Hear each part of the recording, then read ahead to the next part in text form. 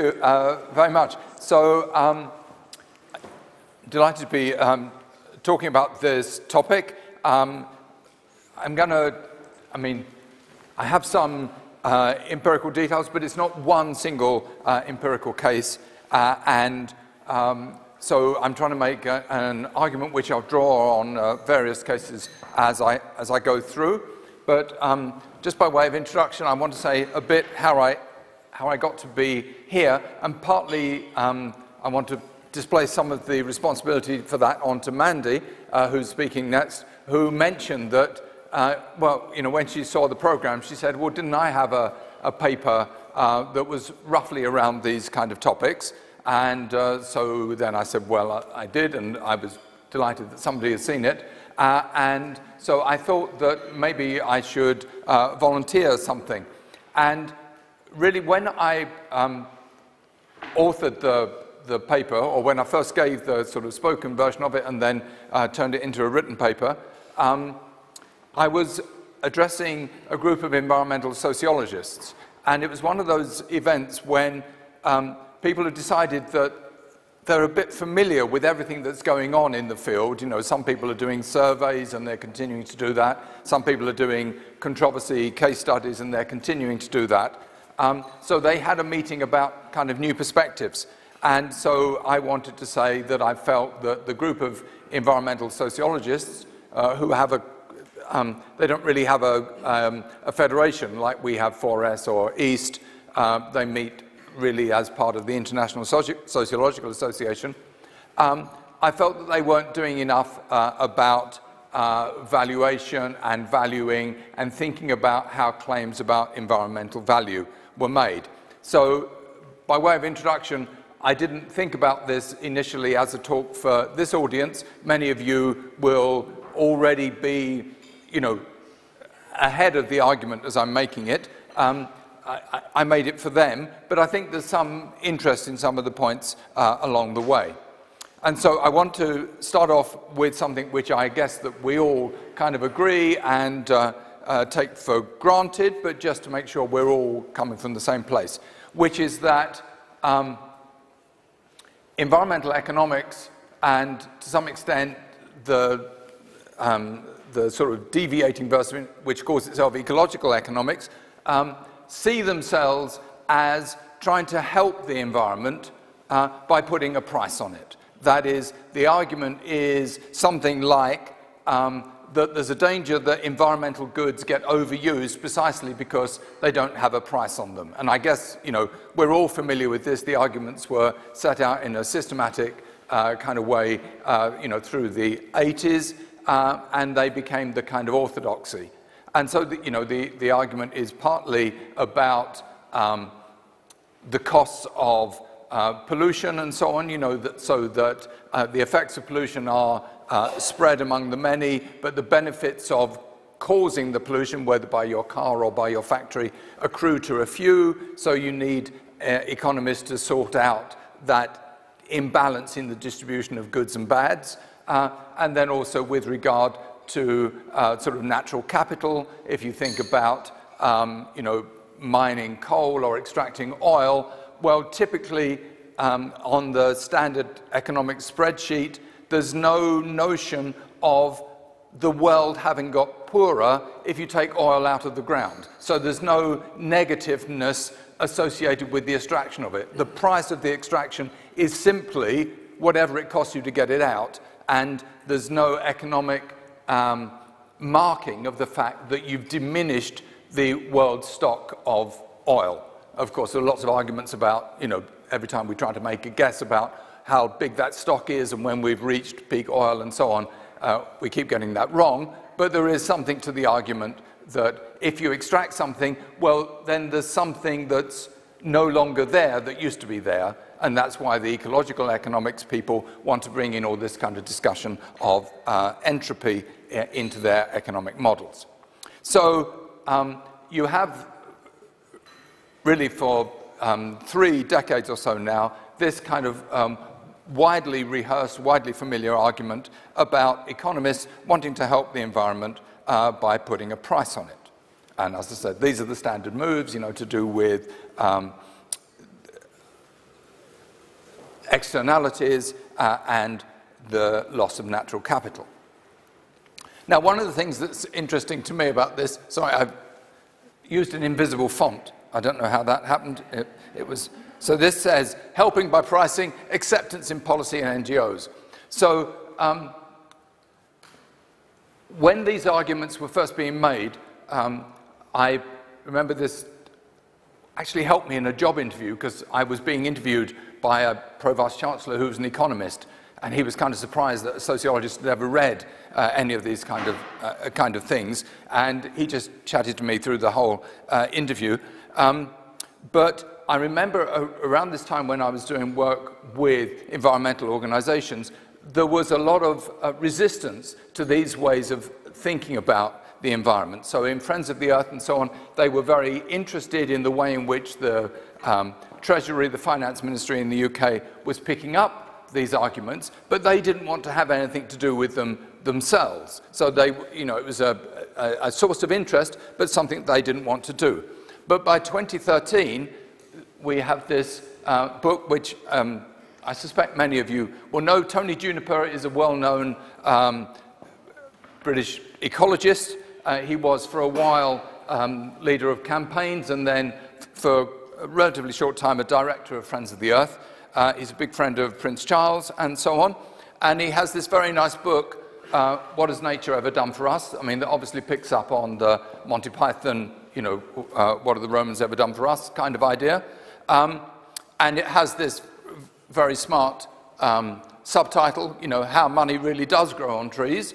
Um, but in this book, so, you know, 20 years later on, the, the person who, in some sense, is the um, voice for environmental organizations such as Friends of the Earth, has come round to the idea that this is actually quite a valuable way uh, of thinking about uh, these issues, to think about the services and systems um, that are provided to us uh, through nature. And then, of course, uh, as everyone here will know, uh, very famously, Nicholas Stern, uh, you know, I mean, as it were, the great thing that Nicholas Stern achieved was turning climate change uh, into a, an issue which uh, economists might worry about and think about themselves as having a role in solving. So, you know, very famously in uh, one of his um, Economic Institute lectures, he made this claim here, which is very widely circulated, which climate change is a result of the greatest market failure the world has ever seen. Um, I mean, there's been some resistance about that. You know, well, how, how exactly do you measure the greatest market failure that the world has ever seen, and so on? But essentially making the, uh, the claim that well, we need to worry about climate change because it is exactly the kind of thing that economists are well equipped to worry about. It's a market failure. Uh, here's a big problem that's accruing without anybody having the responsibility of addressing it. And of course, his uh, famous solution is to say, well, you know, if you think climate change is going to be very expensive to fix, and of course it is, well, think about what, you know, if it's going to be a trillion dollars to fix it, or $2 trillion to fix it. Well, how much is that really? And he's, you know, he says, well, that's just the typical increase in the world's GDP. So if you fix it, you've just slowed down progress by one year. That wasn't so hard, was it? You know, so that's the kind of, that, that's how he gets the, the argument in there.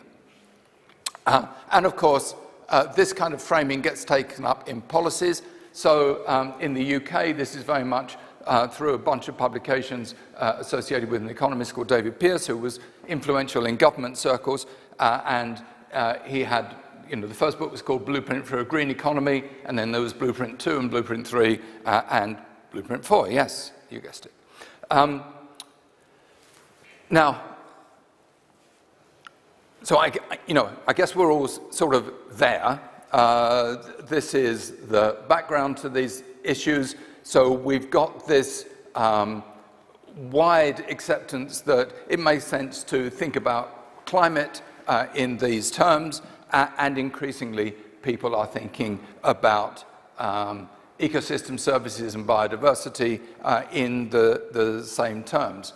So one of the things that got me interested in this in the, the first place was this whole language of thinking about the value or the worth uh, of um, biodiversity in terms of the ecosystems uh, services which it can provide.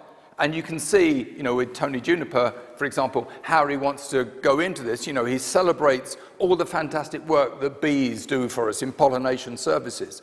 And he says, you know, think how much it would cost to perform those pollination services without the bees, for example. You know, and there are cases where there's been decline in bee services, and you either have to pay someone to bring in bees, or you have to pay people to go around and do with you know little paintbrushes uh, the work that the bees would otherwise be doing. And you can see that there is a you know a genuine academic uh, economic cost uh, to those things. But I was interested in that kind of discursive move to turn a concern for biodiversity uh, into a concern for the satisfaction of ecosystem services. So in um, the 15 minutes or so uh, that remain uh, for me to talk about this, I just want to go through um, a bunch of, uh, so I've got four headings here. These are things that it seems to me in, uh, whether in the literature or in terms of uh, controversies that are arisen or in terms of what environmental organizations have highlighted uh, some of the concerns about them. So they're about the appropriateness of this framing, the generalizability, uh, and then a, a, couple of things which are less um, at the level of principle, but are to do with the way in which it's done. So one is to do with making markets, and the other is to do with the kind of hidden work behind pricing and selling. Okay, so appropriateness. So appropriateness is really this issue of whether it is a kind of um, you know, a good idea to recast these environmental problems uh, in these terms, or whether there's some kind of categorical mistake uh, in doing this. Now, when you look at Tony Juniper, you know, although um, the blurb on the cover of the book makes it sound as though the book is very buys into these kind of arguments about wholly recasting environmental uh, goods as environmental services. One of the things that, that you know, he rather skillfully in the book tries to do is to ride a line between saying, you know, it's helpful to understand how important these services are, but that's not my only reason for being concerned about this. So he kind of uh, hedges the issues around appropriateness, um, you know, in a textual way during the course of the book. But you do have these bigger arguments about is price the right register for thinking about these things uh, in the, the first place. So that, you know, people will say, well, yes, you know, clearly the natural world does provide services to us, it provides benefits to us, and it may occasionally be beneficial to think about what the the value of those services are, but that is really a kind of rhetorical argument for getting people to appreciate the ubiquity and the significance of what these services do. It's not really how we want to value those services. And there's a kind of a, a concern about, you know, the more successful you are in making that argument, or the more you pin your colors to that kind of uh, economic argument, the more you're losing any other place to go in terms of the kind of values that you want to attach uh, to the environment. So you get these arguments, which I guess in many people's mind are associated with uh, uh, um, Michael Sandel, you know, the, the, the well-known philosopher who's interested in these things about, you know, which things should be um, properties of the market and which things should not. Um, he's very famous, you know, for um, one of those, uh, one of the examples that he uses that's become very well known is, you know, um, people like me uh, are often uh, on the edge of being late to collect their children uh, from kindergarten. Um, so some, um, some kindergartens started saying, well, if your parents are persistently late, we're going to fine you. But then people turned the fine into a way of saying, well, if it only cost me 10 pounds, I might as well just stay in the meeting. Okay? So then, when they started to impose the fines, people turned up later more often because it was no longer, you know, it was no longer a moral shame that they turned up late. They were just paying the price for having the, the staff have to work there a bit longer. Um, so you get that, that question that, you know, by introducing a charge, you, you're suddenly changing the basis on which the estimation is made. It moves from a moral thing to a thing which is categorized in terms of value, monetary value. And then once you have that, well, you can then make other trade-offs. You know, if I'm going to earn more in overtime, then I'm going to lose by uh, having to pick Sammy, not my child's name, uh, up from kindergarten, then um, you know, that might be, might be worth doing. Now, of course, there is also a, a, a, a concern that typically uh, comes from the, uh, the more um, ecological or um, biological sciences side, which is to say that um, using expressed or revealed prices, depending on what kind of methods you do to work out the price of something or other, um, there's, a, there's a danger that that bifurcates away from expert understandings of what the importance of things in an ecological context really is.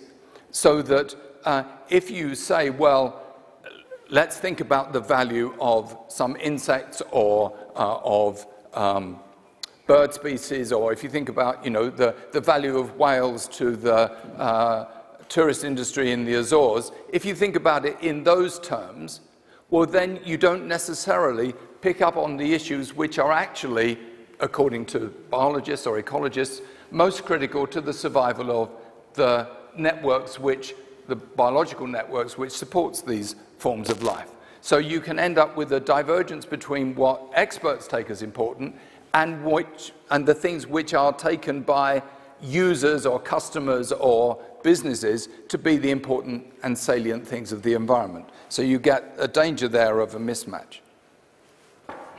Now, third concern here uh, is also that uh, the price can go against you. Um, that is, imagine that you go down the route of saying, well, um, we value bees because of their pollination services, and that becomes your primary argument about why you ought to do bee conservation.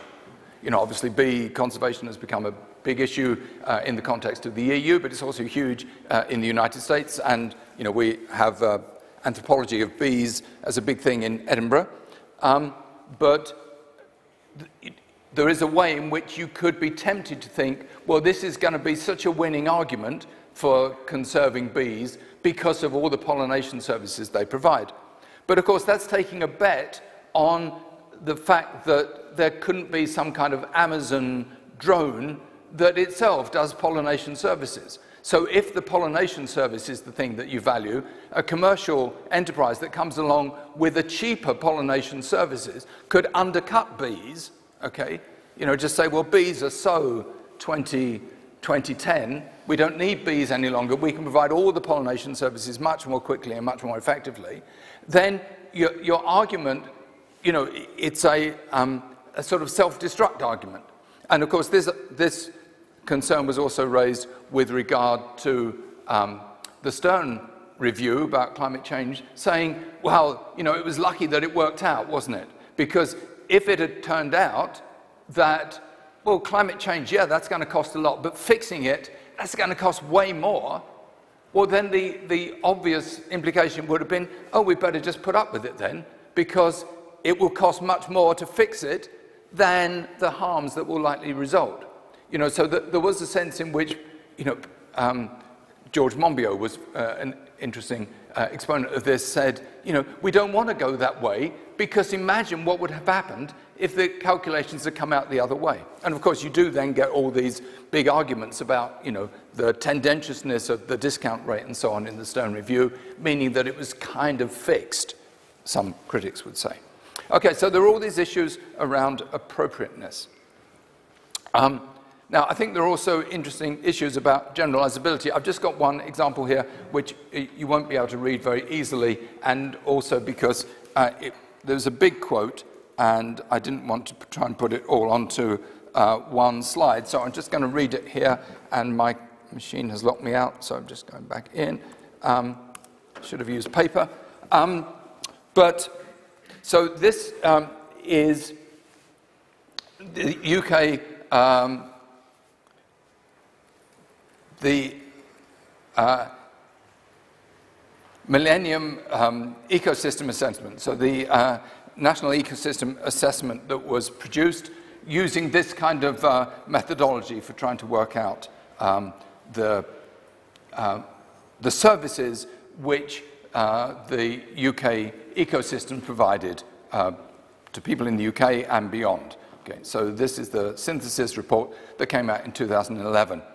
And um, I just need to, to read this because it's so, it's so beautiful and bonkers at the same time. Okay, so quote, environmental settings play a positive role in religious practice and faith, but more general evidence on their spiritual and religious role is limited. You don't say. It, okay.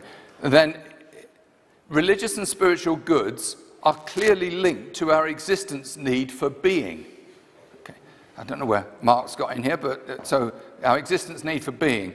But the extent to which religious encounters with specific environmental settings are synergistic satisfiers for value needs, such as participation and identity, resides in the character and of belief. So I don't quite understand that, but I think it means how good an environment is for satisfying your spiritual needs depends on what your spiritual beliefs are. Okay. Uh, the importance of ecosystems in religious terms had almost certainly increased in the post war period in Britain, notwithstanding secularization and the decline of conventional religious observance. So people are becoming more sort of uh, naturistic in their uh, practices there has apparently been an increase in the incidence of both pilgrimage and of religious retreats, although it is extremely difficult to identify any quantitative measures of this trend. They finish, it is extremely hard to pinpoint evidence of particular landscapes or ecosystems being conducive to religious experiences.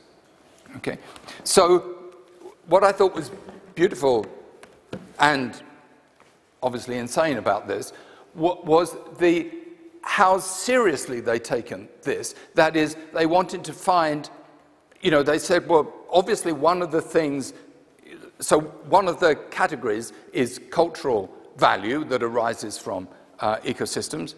Uh, and so they, they say, well, obviously part of the cultural value is religious or spiritual value, but then, oh dear, it's rather difficult to put a numerical value on that.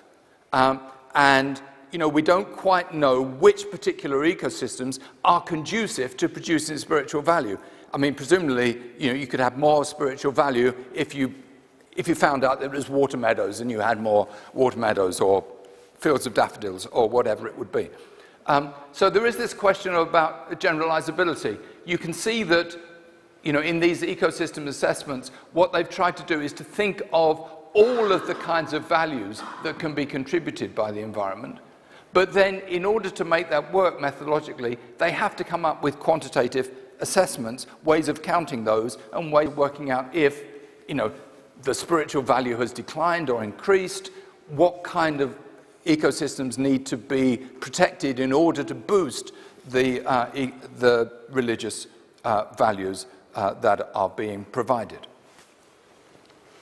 Now, the third thing that I'd like to say a tiny bit about is uh, realizing markets. Now, um, um, clearly, Donald MacKenzie, uh, you know, is all over all of this area, but he's done a particular uh, uh lot of work about this.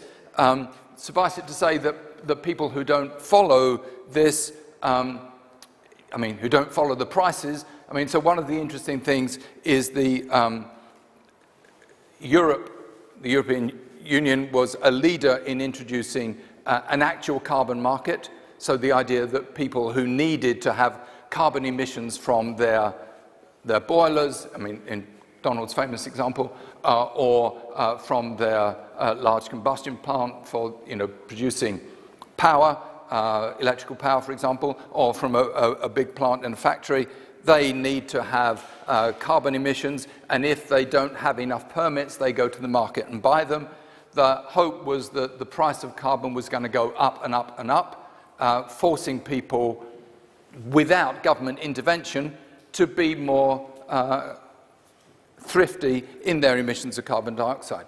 But if you look back to the beginning of the uh, European trading system, you find that even this year, the value per tonne has only gone back to where it was when it started. So after 12 and a half or 13 years, you know, there's been no squeezing of carbon dioxide emissions as a result of this market. We're only now back to where we were at the start. Uh, and of course, that was partly because, unluckily, we, you know, in lots of ways, uh, we had the recession straight afterwards, so that uh, uh there was a lot less interest in kind of enterprises which were likely to cause uh, carbon emissions, so the market didn't work because factories were closing. Um, but also because when the market was set up, um, essentially the European member states wanted to protect the interests of their domestic producers. So they, produ- they, at the start of the market, they gave lots of permits. And nearly everybody said, oh no, we're, we're going to need much more than that. So their governments, you know, then tried to secure more permits for their industry. Everybody gave in a little bit, and there was therefore a big oversupply of permits uh, in, the, in the market from the start.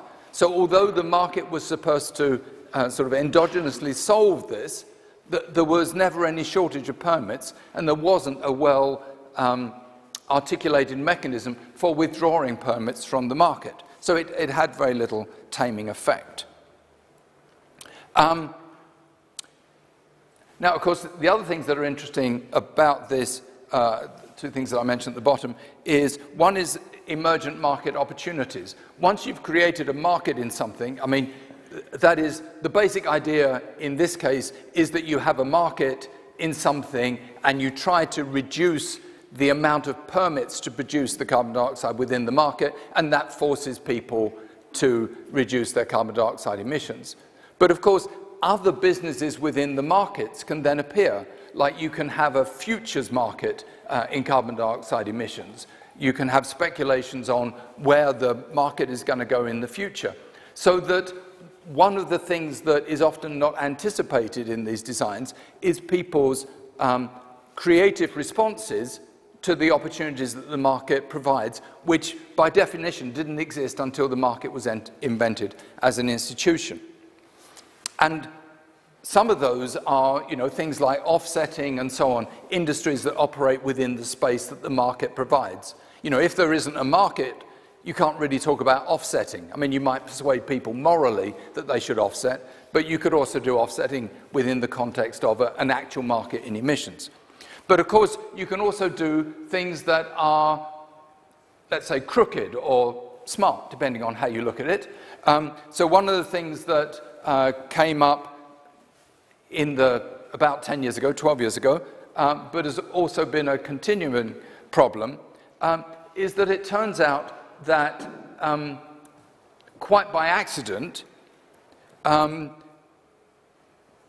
some gases which are big uh, carbon, um, greenhouse gases um, can attract a lot of payment for their destruction. So there are gases, I mean, the, the one that's most notorious is HFC23, which is uh, trifluoromethane. So it's like methane gas, but just with the uh, three of the hydrogens knocked off and fluorine put in its place. And that has a, a staggeringly huge uh, global warming potential compared to carbon dioxide, like 11,000 times per by weight. So you want to get rid of that.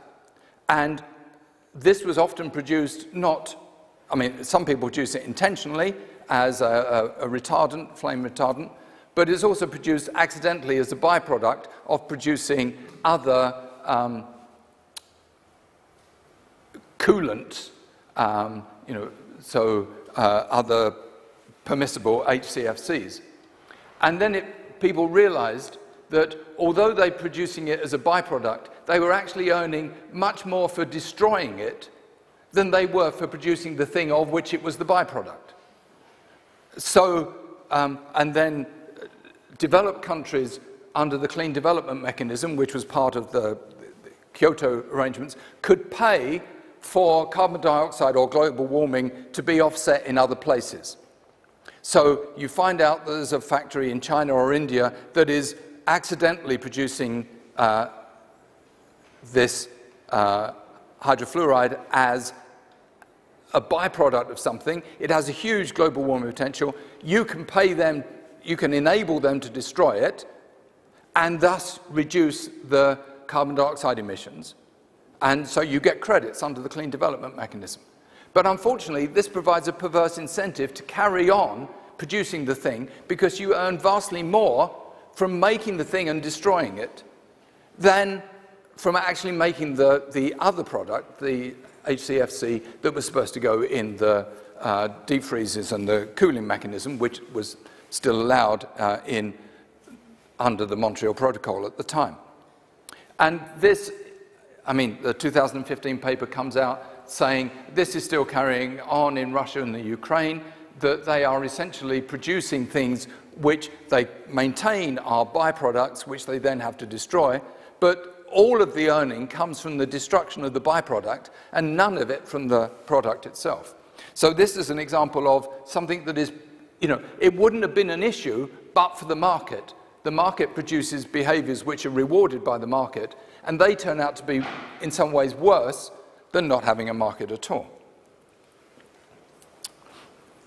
Then, final thing that um, I'm interested in here uh, is the way in which um, it's often assumed that, you know, well, the, the key thing is to work out, you know, these, um, the kind of in principle arguments, you know, that we should think about environmental problems as externalities or as natural capital. And once you've got that sort of paradigm change, uh, then you're on the road to solving these problems. Or maybe what you need to do is an institution, like set up the market in the right way. Um, but of course, one of the other issues is that the market itself depends on inputs.